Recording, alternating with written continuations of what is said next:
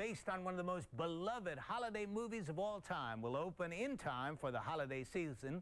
And today we were invited to watch a rehearsal at the new 42nd Street Studios for A Christmas Story, the musical.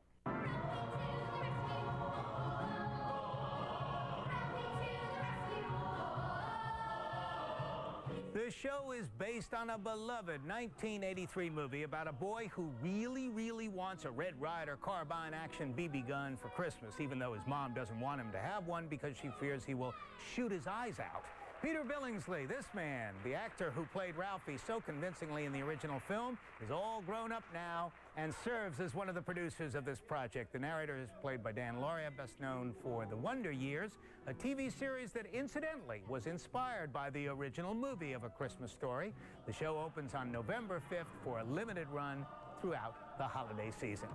Staying on the Great White Way, we will see Barry Manilow soon back on Broadway.